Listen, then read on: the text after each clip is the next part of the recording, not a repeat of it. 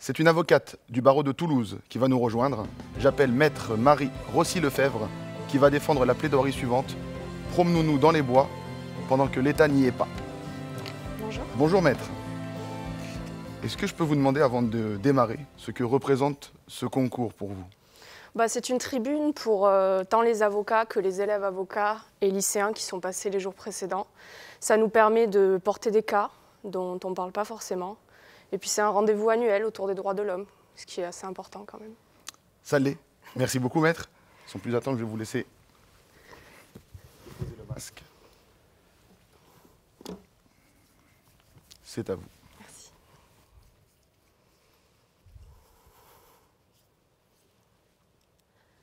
« 16 août 2018, Paris, 18e arrondissement. Ce jour-là, comme tant d'autres, comme vous, comme moi, Vanessa se prépare pour aller au travail. Elle se lève, se coiffe, se maquille et enfile une jolie robe avant de s'engouffrer dans les transports parisiens. Elle retrouve ses collègues, les clients défilent, la journée se passe. Rendez-vous, potin, post-café, une journée de travail classique. Une journée de travail, comme nous tous ici, en avons déjà vécu. Pourtant, lors d'une entrevue avec un client, un inconnu surgit. Puis un autre. Puis encore un autre. Pas moins de dix individus se retrouvent face à elle. Que veulent-ils? La réponse est toute simple, dépouiller son client. Vanessa en a l'habitude, ce n'est malheureusement pas la première fois que cela arrive, mais cette fois c'en est trop. Elle ne se laissera pas faire. Le ton monte, les esprits s'échauffent, et Vanessa hurle pour prévenir ses collègues qui se précipitent jusqu'à elle. Mais il est trop tard. Le coup de feu est parti. Vanessa tombe. Mesdames, messieurs, Vanessa Campos avait 36 ans. C'était une femme, transgenre et sans papier. Autant de qualificatifs qui faisaient d'elle une oubliée de la société française. Vanessa Campos était également une prostituée. Et c'est cette dernière qualification qui l'a menée au fond du bois de Boulogne, où elle a trouvé la mort. Comment a-t-on bien pu en arriver là?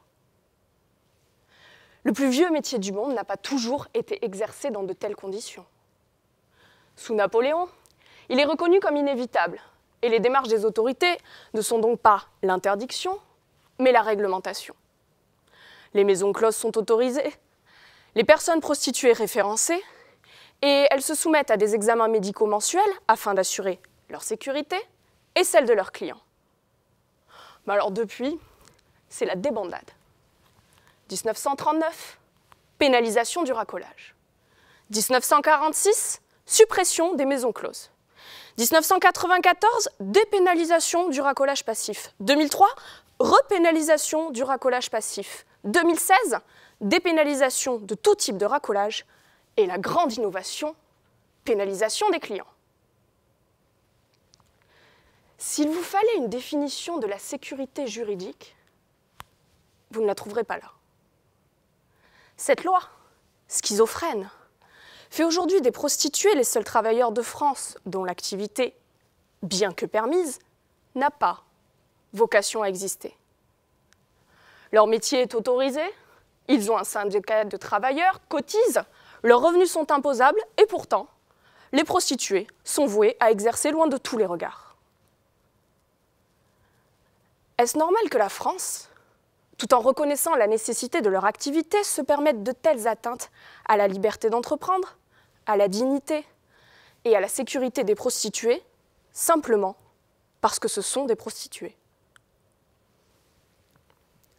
En 2016, Vanessa quitte l'Amérique latine pour venir en France, pays dans lequel elle espère trouver la sécurité dont ne bénéficie pas une prostituée transgenre, là où elle vit actuellement. Malheureusement, et pour reprendre les mots de son amie d'enfance et collègue de travail, Vanessa était persuadée qu'en quittant l'Argentine, le plus dur serait derrière elle, c'est finalement en France qu'elle est tombée en enfer. Eh oui, moins de trois mois avant son arrivée, la sentence tombe. Le fait d'avoir recours à l'achat d'un acte sexuel est puni d'une amende de 1500 euros. Mesdames, messieurs, vendez. Mais personne n'a le droit d'acheter. Je rappelle que l'État reconnaît les prostituées. Leur activité est permise. Pourtant, aucun autre métier autorisé en France ne suppose un exercice dans de telles conditions. Alors, je sais que certains vont s'offusquer. Et la prostitution de mineurs, et le proxénétisme, et le trafic d'êtres humains dans tout ça. Ce sont des dérives de la prostitution. Ça existe. Mais ouvrons les yeux, il n'y a pas que ça. L'exercice de la prostitution n'est pas forcément une contrainte, et Vanessa, elle, était fière d'être prostituée. Est-ce alors normal qu'elle ait souffert d'une réglementation destinée à endiguer un phénomène dont elle ne faisait pas partie? Que pense l'Europe de tout ça? Dans un arrêt tremblé contre France, rendu le 11 septembre 2007, la Cour européenne des droits de l'homme affirme sans détour que la prostitution est incompatible avec la dignité et les droits de la personne humaine dès lors qu'elle est contrainte. Et le terme a son importance, dès lors qu'elle est contrainte. La Cour fait ainsi une distinction claire entre deux situations. D'une part, la prostitution contrainte, qui va notamment regrouper la prostitution de mineurs et le trafic d'êtres humains. D'autre part, la prostitution libre, pratiquée par des travailleurs volontaires en l'absence de toute coercition. Vanessa était de cela. La loi de 2016, pourtant, ne fait en aucun cas état de cette distinction. Parce qu'après tout, comment pourrait-on vouloir être prostituée? Mais pourquoi? Pourquoi un métier pratiqué depuis la nuit des temps autour de l'acte sexuel doit-il nécessairement être considéré comme dégradant, de sorte que ça justifie un traitement différent? La question ici, ce n'est pas de savoir si c'est bien ou si ce n'est pas bien. Être prostituée, est-ce que c'est moral? Peu importe. La question ici, c'est de savoir si être prostituée, est-ce que c'est légal? Et ça l'est. Alors ce n'est pas parce que la vertueuse société française a décidé de faire de la prostitution un sujet tabou, qu'elle peut se permettre de la négliger à ce point. 18% des hommes en France reconnaissent avoir déjà eu recours à l'achat d'un acte sexuel. Et ça, c'est seulement pour ceux qui l'admettent. 18%. Hein. Presque un homme sur 5. 5 millions 800 000 délinquants. La prostitution est évidemment un phénomène à encadrer, mais dans le respect de ses travailleurs. Une loi venant pénaliser avec la même sévérité le client d'une prostituée mineure réduite en esclavage par un proxénète et d'une prostituée indépendante n'est pas une réponse pénale satisfaisante. Pire encore, au-delà de n'apporter aucune solution aux dérives du travail du sexe, la loi de 2020 met en danger les travailleurs qui souhaitent exercer de manière indépendante. Vanessa n'avait d'autre choix que d'aller au fond du bois de Boulogne pour être loin de tout contrôle de police et loin de toute sécurité. Comme elle le disait elle-même, le bois, c'est obscur. Tu rentres dedans sans jamais savoir si tu vas en sortir. Elle ne croyait pas si bien dur, malheureusement. Ce soir-là, Vanessa entrait pour la dernière fois dans le bois de Boulogne. Elle tombait, sous les balles d'un pistolet volé quelques jours plus tôt par son agresseur, à un policier, pendant que celui-ci consommait ceinture aux chevilles. Pour un représentant de l'État, ça fait désordre. Mais allons encore plus loin dans le délire. Trois heures du matin, un photographe, au nom de l'information, brave la pénombre et crapahute au fond des bois pour couvrir l'événement. Une semaine plus tard, pleine double page couleur, Paris Match publie une photo du cadavre nu de Vanessa. Quelle célébrité soudaine pour une femme dont on refuse l'existence depuis la naissance et dont on s'efforce à ce point de cacher le métier.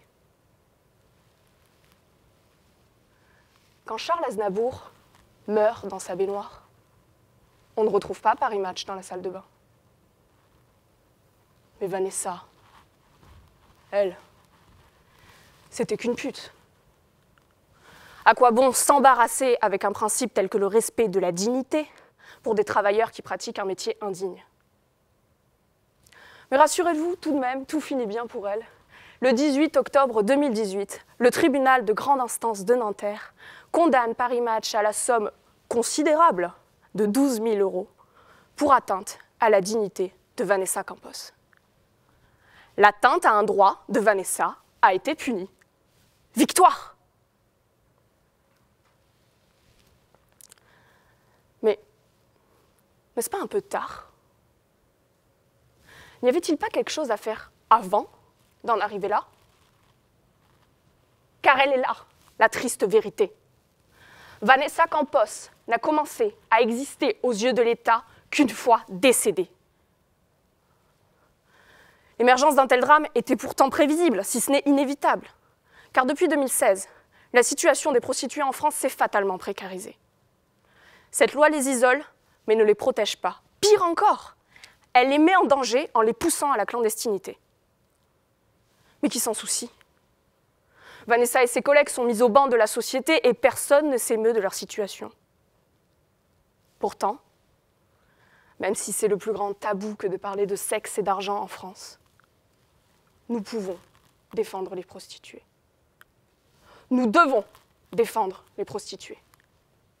Car les libertés fondamentales, si chères à notre cœur, pourquoi les piétiner? Comment ne pas s'alarmer? De la geôle syrienne au mémorial de Caen, toutes les libertés restent fondamentales.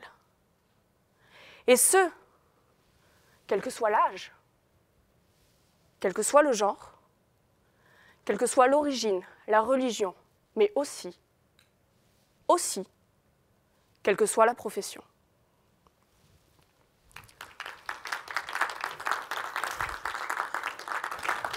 Merci maître.